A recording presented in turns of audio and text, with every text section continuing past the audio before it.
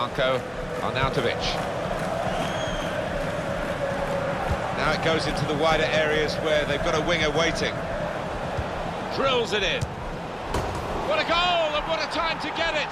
This is a competition famed for its late goals, and we may well have witnessed a really important one here. They are in front, and very little time to go. Well, we see it again, how close it was to maybe hitting the post and staying out, but luck was with him. In it goes, it counts. I think the goalkeeper thought he got his angles covered there, but